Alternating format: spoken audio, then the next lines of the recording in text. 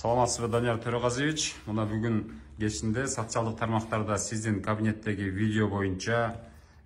ушул коомчулукка өзүңүз кайрылуу жасап койсоңуз деги эле эмне болгон видео? Ал кабинет кайсыл кабинет эле? Бүгүнкү күндө суроо көп ушул суроолорго жооп берип койсоңуз. Кутмандуу кечиңиздер менен урматтуу кыргызстандыктар мына бүгүн социалдык тармактарга бир саат мурда видео тарады. Ал видео мага түштө келип түшкөн түштө мага балдар жөнөтүп ушул жерде ушундай видеону биздин блогерлерге кыздарга балдарга жөнөтүп атат ушуну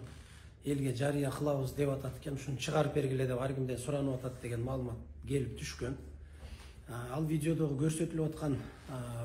баягы окуя боюнча мен өзүмдүн оюмду билдирип коюуну туура көрдүм. Мына ал бир жыл мурдагы видео мен өзүңүздөргө белгилүү болгондой ошо кокустатып алып операциядан кийинки келген убагым болчу ал жерде видеодо эки балдак дагы көрүнүп турат балдак менен жаңы басып баштаган учурум бир жыл мурда социалдык маселелер боюнча губернатордун орун басары болуп башка кабинетте отургам ал тигил кабинет ал жердеги стол стулдардан эле көрсө болот. Мына азыркы кабинет мен бир жылдан бери ушул жерде отурам бул губернатордун биринчи орун басарынын кабинети мына ал жердеги стол стулдардан кабинеттин түзүлүшүнөн эле көрсө болот. Ал ошол кабинетте бир жыл мурда тартылган видео ал жерге дагы видео камераны мен өзүм орнотком. Мына бул кабинетке дагы азыр атайын видео камераларды орнотуп коюп отурабыз себеп дегенде мындай окуялар болуп ичине келип акча таштап кетип башка келип анан сыртыбыздан келип мынакей акча таштадык деп баягы бир жалган жалаларды жаппасын деген ойдо. Мына түздөн түз ал кабинетимде дагы видеолорду мына видео камералар бул жерде дагы турат. Датчиги менен. Бул ким кыймыл кылса башка кылса ушул жерде сразу тартып алат бүт баардык нерсени. Анан мына кабинеттин ичинде ушундай окуялар тиги болгондугуна байланыштуу атайын ушу элге көрсөтүп түшүндүрүп коюуну туура көрдүк. Ал кабинеттеги кирген адам жанагы биринчи мурутчан туруп аткан адам бул керим макеев деген байкебиз. А киши мына азыр келип менин жанымда турат. Керим макеев агам ошол убакта атайын келип мени ошол операция болгондон кийин данияр больницага бара албай калдым. Ушул эмеге тиги обед ичип коюш ушул акчага мен керосин боюнча келишимим бар эле ошол жерге шашып атам. Деп анан бир жумуш дайындаган ошол жерде бир маселе болуп атат. Ушуга бир жардамың болсо колдон келсе ошого жардам бер деп. Мен колдон келишинче аракет кылам дегем. Ал жерде эч кандай бир коррупциялык элемент же атайын акча берип же бир башка бир маселелерди бүтүрөт деген маселе жок. Мына керим акенин өзү дагы турат. Бул кишиден да уксаңыздар болот. Керим мырза ушул видеодогу сиз берип жаткан акча эмне себептен берилди? Ушул боюнча сиздин өзүңүздү уксак да ал эми ал бир жыл мурдагы ал башка кабинетте отурчу болчу анан бир кокустук болуп бул бутун оорутуп алганда мен больницага сурап бара албай калгам анан ошого келип эми больницага сурап бара албай калдым мынага бир жакшы обед ичсек болот эле бир чай ичип кой обед кылып кой деп эле келип анан бир иштер болуп бир эки суранычтар бар колуңан келсе жардам берип кой деген эле. Сураныч болгон ал жерде эч кандай бир мындай бир башка бир мындай бир жаап жашыра турган эч нерсе жок. Мен гана өзүм гана атайын чалып данияр больницаңа бара албай калдым каяктасың жумушка чыгыпсың сени бир сурап коеюн деген эле максатта келгенмин башка болуп ал жерде эч кандай башка эме жаман нерсе жок ошол эле видеодо кара суу районунун акими дагы жүрөт да бул боюнча эмне деп айтасыз кара суу районунун акими турузбек молдобекович ногоев эми ал убакыттан баштап биз дайыма чогуу иштешип жүрөбүз эми ал дайыма эле биздин кабинетке келип турат сүйлөшүп турабыз маселелер бар башкалар бар талкуулайбыз анан ал жердеги конвертти тиги берип аткан нерсени тартып туруп ал конверттин ичинде мен акча алып атамбы же акча берип атамбы ал эч кандай маселе жок мына ошол конверттер боюнча мен атайын көрсөтүп туура көрдүм сиздерге бизге эми арыз менен ар кандай каттар менен эл кайрылып келет мына ошол конверттердин баардыгы мына мисалы конверттер турат мына менде мынабунча конверт мына өзүңүздөр көрүп алыңыздар кийин жашырды башка кылды дебесин жанагы акча менен берди деген конверттер мына. Данияр төреғазиевичке деп мына жаңы куттуктоолор мына мына жерде турган эмелердин бүт баардыгы ушундай болуп келет мына жаңы жылдык куттуктоолор ушунун көбү мына кайсыл ишканалар куттуктаса ошолордун куттуктоолору мынакей мынакей данияр төреғазиевичке деп турат мисалы ушундай болуп келген конверттер толтурат арызданып келишет мынакей анан ошол арыздардын бирөөсүн берип аткан учурумбу биз мисалы ал жерден турузбек молдоевичке бир акча берди же тигибу деген маселе болбош керек мынакей конверттер ал жерде бир ак конвертти көрүп атат турузбек молдобекович ошонун чөнтөгүнө салып атат эми отуруп салып аткандагы нерсени э, баягы тартылды деп ошону чыгарып атышат мынакей конверттер андай конверттер эми бизде жайлайт бул жерде анан ошол негизде тиги турузбек молдобековичтин экөөбүз отургандагы нерсени тарткан экен ал жердеги маселе боюнча турузбек молдобекович бүгүн дагы мына кара суу районунун акими мына а киши дагы отурат бул киши менен ортобузда кандайдыр бир коррупциялык элементтер же бир акча алуулар болсо башка башка бир маселелер боло турган болсо анда менин үстүмөн ошол бир жыл мурда эле айтып чыкмак да мындай маселе болду же мындай бир маселе чечилди бир жерден деп турузбек молдобековичтин өзүнөн дагы атайын угуп көрсөңүздөр болот турсбек молдобекович видеодо сиздин ушул конверт алып атканыңыз көрүнүп турат бул боюнча өзүңүз кандай комментарий бересиз саламатсыздарбы М, чындыгында бул бир жыл мурун болгон окуя эми данияр төрөгазиевич көп социалдык тармактарга чыгып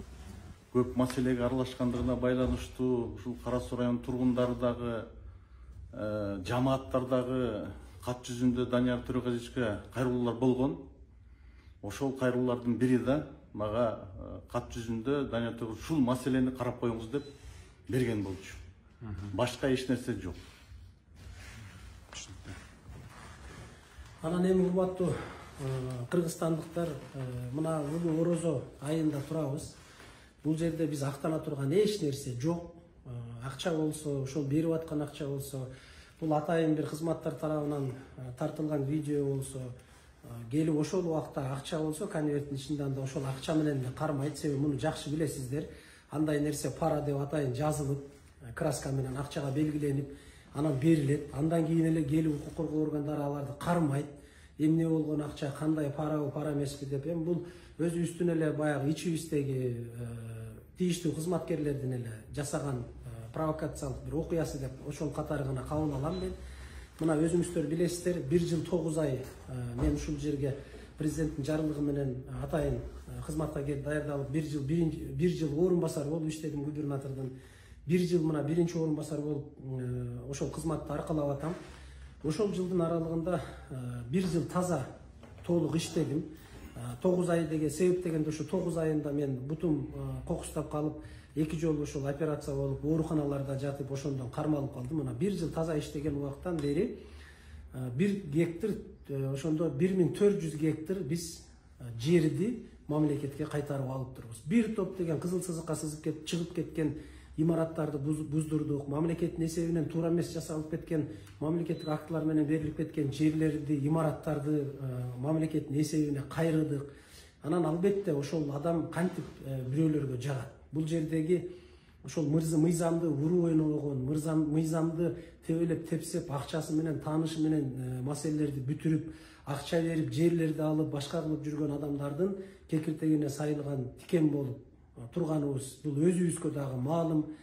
биз өзүбүз дагы ушу жүргөн жерибизде коркуп жүрдүк кайсыл учурда ким келип чаап кетет кандай кылып кетет эмне кылып кетет деп үйгө кирип атканда дагы подъезддерди карап корккондон ошондой эмеде иштедик шартта иштедик мен эч убакта өкүнбөйм бул жерде кызмат кылганыма бул өтө чоң биз үчүн чоң мектеп болду саясий мектеп болду аткаруу бийлигинин ичиндеги бир топ нерселерди көрдүк анан ошондой жерлерин алдырып аткан имараттарын алдырып аткан кызыл сызыкка сызылып кеткен имараттарын буздуруп аткан адамдар албетте бизге каршы кутумдуктарды уюштуруп ар түрдүү иштерди жасашты ал белгилүү мына бүгүн дагы жасап атат ушул чыккан видео дагы мага ошо балдар чалып айтышты ушинтип сиз жөнүндө бир видео дайындап атат экен ошолор чыгат экен бүгүн ошону чыгарган жатышат деп дагы айтты. Мен бул жерде эч кандай актанууну көрбөй турам мен актана турган дагы эч кандай бир иш кылган жокмун эгерде мына орозо ыйык орозо күнүндө турабыз эгерде бирөөлөр кандайдыр бир жаман аракет кылган болсо ошондой кутумдук аракеттерди кылган болсо бүт баардыгына алла тараза алла сынчы демекмин бул нерсе бул нерсе дагы адамдын адамга кылган жамандыгы бул адамдын өзүнө кайтып келе турган нерсе бул жерде кызматта устун болуп кармалып кала турган жабышып кала турган эч ким жок биз бул өмүр бою жабышып же болбосо ушул жерде бир атадан калган мурас эмес биз кайсыл гана чечим болбосун эгерде жогорку мамлекеттик жетекчилер ушул окуя боюнча карап көрүп туура эмес деген бир чечим кабыл ала турган болсо кандай гана чечим болбосун биз аны аткарууга милдеттүүбүз түздөн түз биз аны аткарабыз эгерде ушул нерсени көрүп ушул нерсеге бизди күнөөлүү деп тапкан болсо кызматтан четтетүү башка деген маселелер боло турган болсо анын баардыгын кабыл алганга даярбыз. Бирок алланын алдында биз айтып коюшубуз керек элдин алдында алланын алдында абийирибиз таза биз эч кимден эч кандай акчалык коррупциялык элементтер менен иштеген жокпуз. Мына турузбек молдобекович дагы чоң ошол кара суу районунун деңгээлинде ош облусундагы эң чоң райондун акими болуп кызматын өтөдү. Эгерде чынын айтышыбыз керек эгерде биз ошентип акчалык коррупциялык элементтер менен шугулданып аракет кылганыбызда анда ошол жерге элге кайрып алган мамлекетке кайрып алган жерлерибиздин баардыгына акчалай бере турган болсок азыр биз долларовый миллионерге айланмакпыз бул ачык эле сөз. Биз ошону албай президенттин ишенимин бизге ушул мойнубузга жүктөп жоопкерчиликти жүктөп ишеним артып ушул жерге дайындагандан кийин биз өзүбүздүн абийирибиз менен келип иштеп кетели деген ниет менен жүрдүк мына бүгүнкү акыркы күнгө чейин ошондой иштедик мына ош облусунда чындыгын айтышыбыз керек. Бир топ адамдарга жардам бердик жетим жесирлерге кары картаңдарга карапайым адамдарга бир тобуна жардам бердик мен ал үчүн аллага терең ыраазычылык билдирем ошондой мүмкүнчүлүк бергендигине ошентип элге жардам көрсөтүүнү ушу жүрөгүбүзгө салганына ал эми бир топ адамдарга чындыгын айтышыбыз керек. Жардам бере албай калдык жетишпей калды колубуздан келбей калды. Мен эгерде ушул кызмат учурунда кимдер менен бир колубуздан келбей калса жардам бербей калсак башка болгон учурлар болсо мен карапайым элден чындыгында кечирим сурайм. Бул ошол иштеги гана биздин жетишпей калгандарыбыз биз кыла албай калган иштер боюнча биз жардам бере албай калган негизде гана айтып атам а так мен элдин алдында элдин ырыскысын жеп башкасын бир мамлекеттик бюджеттен акча жеп коррупциялык элементтерге аралашып эч кандай иш кылган жокпуз. Кудай алдында муну мына ыйык орозо күнүндө. Так айта алабыз ал бул видео боюнча биздин актанууга дагы эч кандай негизибиз жок биз актанбашыбыз дагы керек. Себеби бул эч кандай кылмыш же мыйзам бузуу деп эсептебейм жанагындай айтылган маселелердин бүт баардыгы ошентип операциядан келгенден кийин куттуктап келгендиги биз больницага бара албай калдык деп келгендиги бүт баардыгы анык муну жашыра турган эч нерсе жок анан анда дагы ошол сүрөт турат эрмек муратбек уулу деген биздин өкүлчүлүктүн пресс катчысы экөөбүз ал ошол кабинетте турат бул бир жыл мурдагы окуя анда дагы экөөбүз отуруп акча санап аткан жерин тартып чыгарган экен ал акча болгон болгон чындыгында болгон ал акчанын чыгуу эмесин айтып бере турган болсом биз президенттин тапшырмасы менен областын атайын стратегиялык өнүктүрүү программасын иштеп чыгып ошол жерде баардыгы губернатордун тапшырмасы менен бүт баардыгыбыз сүйлөшүп туруп атайын ролик жасатканбыз он беш минуталык ролик тартылган ошол роликти тартууда биз компаниялар менен сүйлөшкөнбүз ар бир компания менен сүйлөшүп ошол ош облусунда роликти тарта ала турган медиа компаниялар менен сүйлөшүп анан бир компания үч миң доллар деген биз үч миң долларга болбойт кымбат болуп калат андан арзаныраак компания тапкыла деп эки миң долларга бир компанияны тапканбыз ал компания атайын келип бизде бүт райондорду кыдырып райондун акимдери дагы билет ал жөнүндө баардыгына барып жер жерлерде туризм боюнча инвестиция боюнча иштеп аткан өнөр жай ишканалары боюнча атайын материалдарды тартышкан ал жерди биз сомго бөлгөндө эки миң доллар жүз кырк миң сом болот. Анын биз жүз миң сом акчасын биринчи бергенбиз ал балага ошол акчаны маалымат катчы эрмек муратбек уулу экөөбүз эсептеп аткандагыбызды ошону тартыптыр. Жүз миңин бергенбиз кырк миңин кийин берүүгө сүйлөшүп бирок бир топко чейин бере албай жүрдүк бир үч төрт айга чейин кечиктирдик себеби акча болбой жатты ал бала дагы улам келип бизге кайрылып атты ошол акчаны тездетип берсеңер жакшы болот эле деп анан акырында кырк миң сомун таап ал балага ошол кырк миң сомду бергенбиз ошо менен жүз кырк миң сомго он беш мүнөттүк ролик тартылган аны ал бала дагы тирүү бүгүнкү кезде ал бала дагы өзүнүн чындыгын айтып ал нерсени тастыктап бергенге даяр. Мына азыр эрмек муратбек уулу дагы мына жанымда турат биздин пресс маалымат катчы ал акча каяктан эмне болуп экөөбүз эсептеп отурганыбызды эрмектен дагы уксаңыздар болот жанагы соц тармакта зам губернатордун видеосу тарап аткан жерде мен дагы ошол акча санап аткан жерим түшүптүр мен түшүндүрүп берип койсом менин атым эрмек фамилиям муратбек уулу эки миң жыйырма биринчи жылдын апрель айынан бери тактап айтканда эки жылдан бери мен ошол ош облусунун губернаторунун пресс катчысымын былтыры эки миң жыйырма экинчи жылы февраль айларында жетекчиликтен мага айтышкан облустун өнүктүрүү боюнча видеоролигин тартышыбыз керек деп. Бул эки миң жыйырма бир эки миң жыйырма алтынчы жылга карата пландар. Ал жерде туризм багыты бүт тармакты камтыган. Ошол биздин мындай бренд боло турган. Ош облусунун жүзү боло турган ролик тартылышы керек деп. Мага тапшырма келген. Ошо тапшырманын негизинде оштогу бир катар студиялар менен сүйлөшкөнмүн. Баардыгынын баасы ошол он беш минутталык видеонун жети минуттан он беш минутталык видеонун баасын үч миң доллардан деген. Келип анан бул жигит менен сүйлөшкөнбүз эки миң долларга. Э, доллар менен сүйлөшкөнбүз. Баасын бүчүп жетекчиликке айтып жетекчилик менен макулдашып э, анан э, бул жигитке айтканмын мен. Эки миң доллар болот экен кандай кылып берели дегенде бул айткан. Кааласаңар доллар менен бергиле кааласаңар сом менен бергиле деп. Чакканыбызда бир жүз кырк миң сом болгон бул экөөбүз ушул марттын аяктарында бермей болгон бул роликти бермей болгон марттын аягында ушул бизге ушул ролик керек болуп калды делегация болуп бир жака чыкканда ошол роликти презентация кылабыз деп керек болду анан студияга барып берип тур видеону десем акчасын сурады акчасын берсеңер эле видеоңорду берем деп. Ошондо мен келип жетекчиликке айтканмын анан жана видеодо сурап атпаймынбы доллар менен бекен же сом менен бересиздерби эмне менен бересиздер деп сурап атам беришсинби деп анча мынча адамдар жазып андай эмес берсинби деп сураганмын дегенде сом менен берген биринчи бул жигитке мен жүз миң сом бергем ошол видеодогу ошол алып аткан ошол жүз миң сом ошол видео роликке берилген кырк миң сомун андан кийин кечиктирип берген да ошо өзү да менин атым кубаныч уулу парламент деген студияны иштетебиз былтыры ушул эрмек видео ролик тартышыбыз керек болуп администрацияга деп калды. Бир ай тарттык бир жарым ай тарттык окшойт.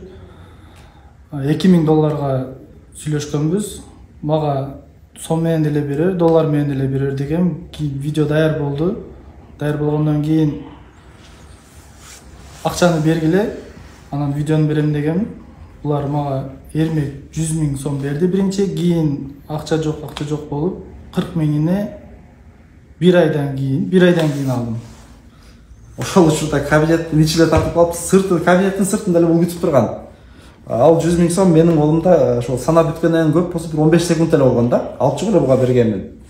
Алып кеткен. Ал жерде эч кандай саясатташтырдын кереги жок деп ойлойм менчи ушул азыр ушул социалдык тармакта сиздин кабинет жөнүндө сөз болуп атат да бул жерде бир эле кабинетпи же дагы кошумча кабинет барбы бул жерде дагы кошумча кабинет бар. Бул биринчи орун басардын кабинети ал кабинетте бир эле бөлмө кичинекей бул жакта дагы бир бөлмө бар. Бул эс алуучу бөлмө деп айтылат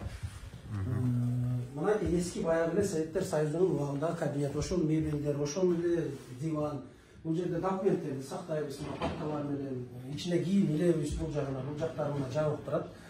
бул жерде холодильник бар мынакей холодильник холодильниктин ичинде ар кандай баягы суусундуктарды башкаларды салып койгон учурлар болот мынакей кабинет мына холодильникти ачып эле көрсөтөлү бул мына курут баягы ноокат куруту тыбыт кошулган чөбөгө кошулган ноокат куруту. Мына кабинеттен эмес. Сейф болсо турат мына сейф турат сейфтин ичинде андай деле тиги коррупциялык элемент кыла турган деле эч нерсе жок мына мен сейфти деле эгер туура көрсөңүздөр мына азыр деле ачып көрсөтө алам сейф эми бул кадимкидей эле баягы сейф документ сактай турган документ сактай турган башка кыла турган мунун ушу ачылыш жабылышы дагы ушундай кыйын эме себеби бузулуп кала берет ушундай ачылбай калат жабылбай калат ар кандай немелер болот да анан эми ушул нерсени баягы тартып тиги видеого чыгарып чыгарып эме кыла тургандай эч кандай маселе болгон эмес муну азыр мен өзүм дагы ача албайм себеп дегенде бул ушинтип баягы залог бузулуп кала берет эс алуучу бөлмө экен да демек э бул эс алуучу бөлмө мына бул жерде дагы камера койдурганбыз атайын ушундай бир балекеттер болуп кетпесин эртең жана жаап бир нерсе кылбасын деп бул жака дагы атайын кабинетке камераларды койдурганбыз азыр эми айта турган нерсе мен таң кала турган нерсем ушул бир жыл мурдагы баягы окуяны эмне себептен эгерде ошол жерде коррупциялык элементтер боло турган болсо ушул видеону чыгарып аткан адамдар эмне себептен аны жашырып кармап жүрдү ошол таң калыштуу бир жыл мурдагы окуяны анда ошондой эле укук коргоо органдарына берип мына моундай коррупциялык элементтер болуп атат деп ошону бир тергөөгө берип анан кийин ошол убакта эле чыгарса андай мүмкүнчүлүк бар болчу анан ушул кезге чейин катып жүрүп анан бир жылдан кийин ушул окуяны бүгүн болгондой кылып көрсөтүүгө аракет кылып аткандык ушул мени албетте өкүндүрөт өкүндүрөт биз мен дагы бир жолу айтам мына бир жыл тогуз ай иштедик бул алланын буйругу эң биринчи алланын буйругу анан мына мамлекет башчысынын ишеними бизге жоопкерчиликти жүктөп ошол жерге барып эл үчүн иштеп бергиле коррупциялык элементтердин баардыгын жойгула ош облусунда абал чындыгын айтканда оор саясий абал жер боюнча мафия абдан күчтүү кетип атат ошонун баардыгын токтотосуңар деген ишеним менен жиберген мен толук ишеним менен айта алам биз ал ишенимди актадык эмгек кылдык иштедик эч кандай бир коррупциялык элемент кылып башка кылып миллиондогон акчаларды бир жыйнап алган жерибиз жок андан кудай сактасын андайдан алыс болуп иштедик муну карапайым эл дагы бизге келип аткан адамдар дагы билет мына менин приемныйма келип аткан адамдардын баардыгы билет анан төртүнчү дагы видеодо көрүнүп аткан нерсе бул менин катчым бул менин эле катчым эмес бул эки орун басардын катчысы бул мына бул жерде сыртта приемный деп коебуз катчы отура турган атайын жер бар бизде эме баягы шартка байланыштуу эки орун басарга бир катчы себеп дегенде бюджет тартыш акча тартыш анан бир катчы отурат мына мен бул жак кабинетте отуруп жүргөм мен жана видео тартылып ал дагы соцсетке чыгып аткан мына ушул кабинет бул азыр манап рүстөм ибраевич деген орун басар ушул жерде отурат мен ага чейин ушул жакта отургам жанагы видео ушул кабинетте тартылган мына ушул катчы кызым бул катчы кызыбыздын айлыгы мына айлык көтөрүлгөнгө чейин ошол убакта видео чыккан убакта алты миң сом сегиз миң сом айлык алчу анан мен бул кызга постоянно өзүбүздүн жаныбыздан карап бир эки миң сом үч миң сом жол киресине тамак ашына деп анан берип коет элем жазбыйм мынакей эми колдон келген ушул болбосо андан да көп берет элем эми сен жол киреңе тамак ашыңа деп пайдаланып туруп айлыгың аз башка деп берип коет элем ал кыз деле бүгүнкү күндө тирүү бүгүн дагы иштеп атат ал кыз дагы өзүнүн оюн айтат ал дагы подтверждать этет биздин сөзүбүздү бул жерде эч кандай ал кызга бир акча берип же башка деген маселе болгон эмес ал дагы бирөөнүн алмончоктой кызы эртең видеодо чыгыптыр анан ал кызды дагы ушул нерсеге аралаштырып кошпоону мен көпчүлүктөн суранат элем ал кыз дагы өзүнүн оюн айтат бул жерде эч кандай коррупциялык элемент жок деп ойлойм. Биз президенттин ишеничин толугу менен актадык колдон келишинче иштедик. Аны бүт социалдык тармактарда атайын чыгарып видеолорду тарттырып мына бир жыл тогуз айдын ичинде биз эсептеп көрдүк жетимиш төрт видео чыгарыптырбыз жетимиш төрт видео бул жетимиш төрт жерге барып текшерүүлөр жүрдү деген сөз. Ар бир текшерүүнү барып видеого тарттырып жүрдүк. Себеп дегенде артыбыздан кийин бир туура эмес сөз жабышпасын ушактар жабышпасын дедик. Мына акыркы окуя нур абад айыл өкмөтүндөгү он үч гектар жерди сугат жер каналдын жээгиндеги жолдун трассанын боюндагы айылдын жанындагы жер ошол жерди чекке бөлдүрүп беребиз деп эки жүз токсон биринчи токтом менен аракеттер болгондо ошол жерге барып атайын комиссия менен ал жерди токтоттук. Ал жер бизге жеткен баягы сөздөр боюнча атайын бир жүз элүү адамга чекке бөлүнүп кеткен алдын ала список түзүлүп калган деген дагы маалыматтар бар. Мына ошондон кийин анан бизге каралоолор бүт баардыгы башталды ар кандай каралоолор жүрүп атты өзүңүздөр билдиңиздер социалдык тармактарда ар нерселер жазылып атты башка болуп атты. Эми бүгүн ошол ак менен каранын күрөшүнүн жыйынтыгы мына бүгүн келип чыкты деп ойлойм мен. Бирок биз ак иштегенге так иштегенге баардык маселени ушу элге карапайым элге жардам берип иштегенге толугу менен аракет кылдык. Бүгүн ак менен каранын күрөшү ушундай жүрүп атат. Мындан ары дагы уланат бул орундарда мисалы ким гана келбесин бул кызматка ал өзүнүн ишин улап мындан ары дагы иштейт буга эл тараза эл сынчы мезгил сынчы дейт убакыт өтөт мунун баардыгына ошол убакта чындык ким тарапта болгон кандай болгондугун менимче убакыт өзүнүн чекитин коет мен ушул бир жыл тогуз айдын ичинде мага колдоо көрсөтүп иштеп берген баардык адамдарга бата дубаларын берип жаткан ушул карапайым адамдарга баардыгыңыздардан алла ыраазы болсун деп айтмакчымын мен дагы терең ыраазымын менин жанымда тегерегимде бир топ балдар жүрдү акыйкат үчүн чындык үчүн биз дагы ушундай адамды күттүк эле биз сиз менен аракет кылып элге жардам берип иштейли деген адамдар жүрдү ошол адамдардын баардыгына мен ыраазычылык билдирем бул эми бешене бул тагдыр бүгүнкү күндө баягы жакшы уинстон черчиллдин жакшы айткан сөзү бар. Чындык чыркырап ордунда турганча калп дүйнөнү айланып чыгат деген. Эми бүгүн ушундай заманда жашап атабыз тилекке каршы адамды жамандоо каралоо башка деген окуялар бүгүн бул жөнөкөй эле нерсе болуп калды. Мына ошондой жамандоого биз дагы менин оюмча кабылдык кабылдык. Мындан дагы убакыт өзүнүн мезгил өзүнүн таразасын салып бир убакта чындык ким тарапта акыйкаттык ким тарапта болгондугун айтат. Мен ошондуктан карапайым элдин баардыгынан ушул жерде колубуздан келишинче жардам берип жакшы сөздөрүн уккан жакшы бата дуба тилектерин алган адамдардын баардыгынан ыраазымын алла ыраазы болсун сиздерден мындан ары дагы биз ошол кыргызстандын келечеги үчүн өзүбүздүн кызматыбызды кайсы жерде болбойлу кыла беребиз. Биз ага даярбыз себеби кыргызстан биздики. Кыргызстанды биз өнүктүрбөсөк биз кылбасак бүгүн эч ким кылбайт. Биз колубуздан келишинче ушул акыйкаттыкты алып келип ушул жердеги жер мафиясы менен күрөшкөнгө толук аракет кылдык. Бирок колубуздан келбеди жеңиш башка кылыш колубуздан келбеди. Бирок бир топ багыттарды бир топ жаңы издерди ушул коррупция менен күрөшкө жер мафиясы менен айрыкча күрөшүүгө салдык деп ойлойм. Андан ары дагы биздин ишибиз уланып кетет деген чоң ишеничибиз бар.